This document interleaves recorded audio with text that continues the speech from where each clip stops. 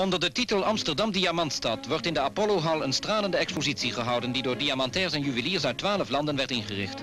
Met honderden diamantjes werden de vindplaatsen van deze edelstenen in kaart gebracht.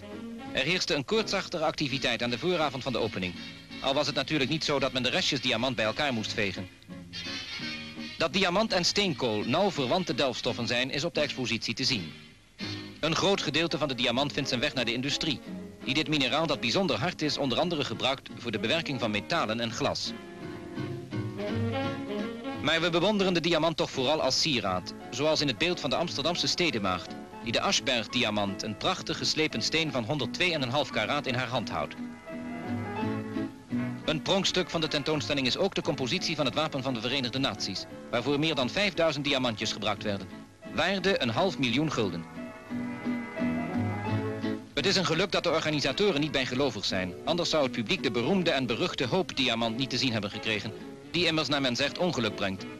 Deze steen van 44,5 karaat is bijna 4 miljoen gulden waard. De minister van Economische Zaken, professor Zeilstra, toonde grote belangstelling voor de bewerking van ruwe diamant die op de expositie getoond wordt.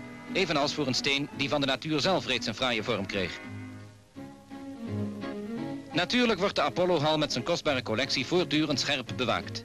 S'nachts is het gebouw verlicht en buiten en binnen surveilleren 80 politiemannen en rechercheurs.